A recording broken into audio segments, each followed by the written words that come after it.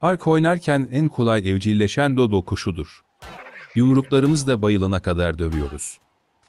Bayıldıktan sonra otlardan topladığımız meyveleri envanterine koyuyoruz. T harfiyle hızlı bir şekilde içeri aktarabilirsiniz. Bekleyin ve evcilleştirme de olduğunu göreceksiniz yetmezse yine otlardan toplayın.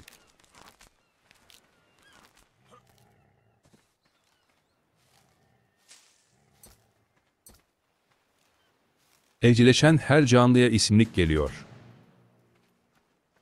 İzlediğiniz için teşekkürler arkadaşlar.